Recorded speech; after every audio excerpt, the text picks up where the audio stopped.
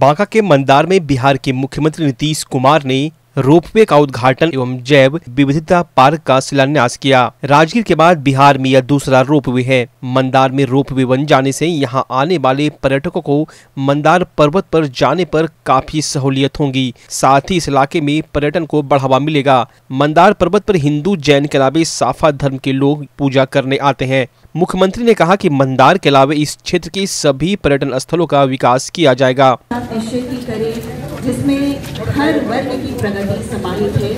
आपके मार्गदर्शन की चुनावी बाल विवाह दहेज प्रथा उन्मूलन में जो दुनिया की सबसे बड़ी मानव शिक्षा की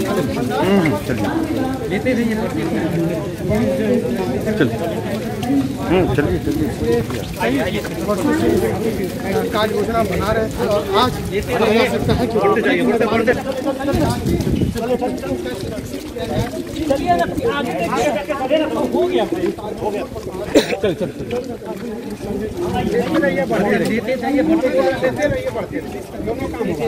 अब दूर यहीं यहीं आप लोग यहीं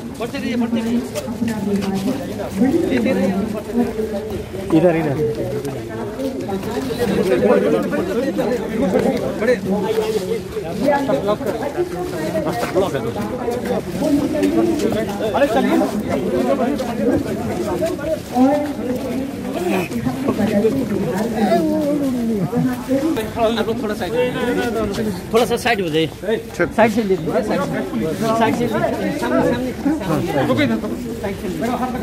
साइड से लीजिए। सर जी जी एकदम बिल्कुल बिल्कुल।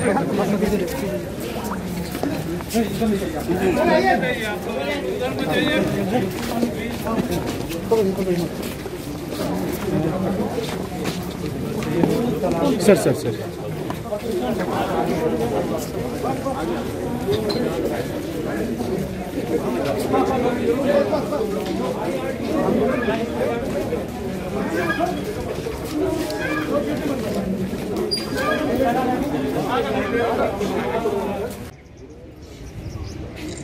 उसका भी है।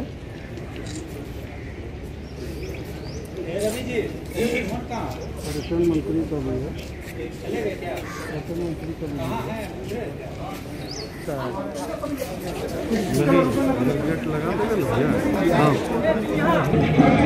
बारह बीस में आ गए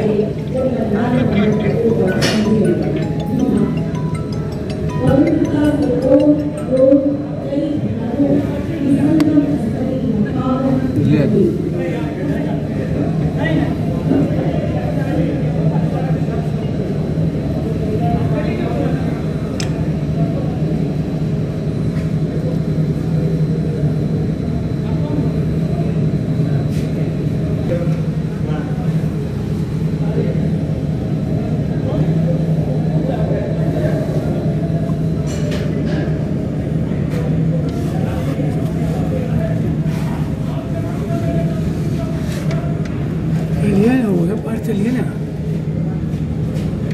खोलेगा तो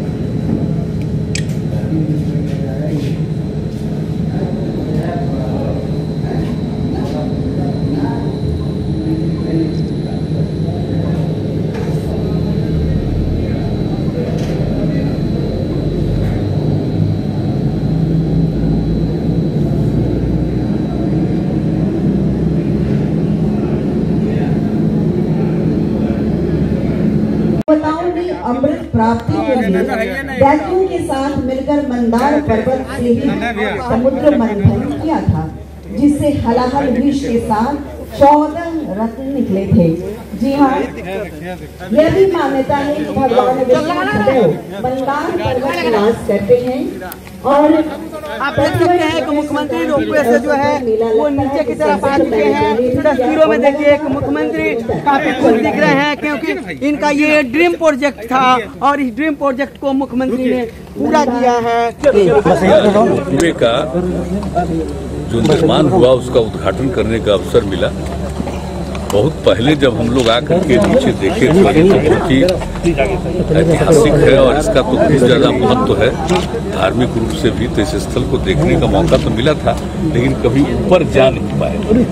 आज मुझे व्यक्तिगत रूप से खुशी है कि चलिए रोपवे का निर्माण हो गया। अब रोपवे के माध्यम से ऊपर तक जाने का मौका मिला। बहुत अच्छा लगा है और जो सबसे बड़ी बात अब है कि लोगों को जाने में घंटा भर का टाइम, उससे भी ज़्यादा समय नीचे से ऊपर जाने में लगता था। अब रोपवे के निर्माण के बाद चार मिनट में लोग यहाँ से वहाँ पहुँच जाएँगे। तो ये बहुत अच्छी बात है और रोपवे का तो आप जानते ही हैं। सिर्फ़ राजगीर में था पहले। उसके बाद हम लोगों ने उसके पैरल भी दूसरा शुरू किया और उसी समय हम लोगों ने तय किया कि अनेक जगहों पर करेंगे। जहाँ पर ये, यहाँ का तो ये मंदार पर्वत में भी और इसके अलावा अन्य कई जगहों के बारे में छह जगहों पर और करने का निर्णय है। एक एक करके सब जगह निर्माण किया जाएगा ताकि जितने टूरिस्ट सभी लोगों को ऊपर जा करके देखने का मौका मिलेगा और बहुत अच्छे ढंग से देखिए आप लोगों को भी कहेंगे कि जरा आप लोग भी जरा ऊपर जाकर के देखिए उस पर जाने से कितना अच्छा लगता है चारों तरफ़ का दृश्य देखिए। सर हम लोग जाके दर्शकों को दिखा दिए हैं। तो चलिए बहुत अच्छा है। आप लोगों को पता सर एक चीज़ आपका यहाँ ये तो पर्यटक स्थल के रूप में शुरू से रहा है। इसकी बहुत ज़्यादा प्रतिष्ठा रही। अब ये हो जाने के बाद पर्यटकों को और सुविधा होगी और अधिक से अधिक लोग भी यहाँ पर सर आपका ये ड्रीम प्रोजेक्ट था।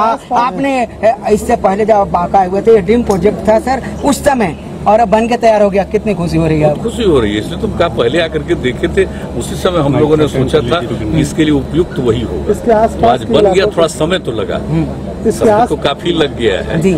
लेकिन अब कम से कम बन करके तैयार हो गया तो सब लोगों के लिए बहुत अच्छा इसके आसपास के इलाकों को भी डेवलप करने। की ज़रूर ज़रूर। मुख्यमंत्री ने मंदार के बाद ओढ़नी डैम में पर्यटन के क्षेत्र में हो रहे कार्यों का भी जायजा लिया।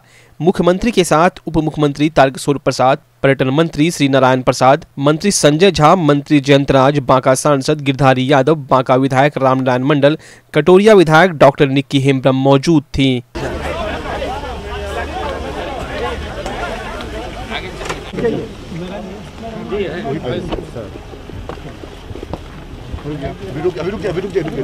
मंत्री जी।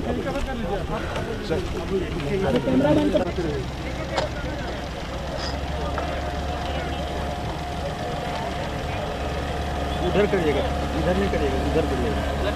हाँ सर जिधर जाएँगे ना। हाँ सर जिधर